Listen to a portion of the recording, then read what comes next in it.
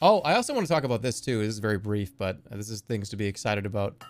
Uh, I I can I am pleased to announce today that the third quarter of this year is going to be fucking insane.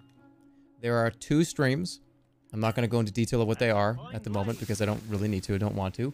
In August and September, both of them are going to be bigger than the carnival. Both of them. So in August, and then right after that in September, there's going to be two streams. Uh, and they're both larger than larger in scale than the carnival.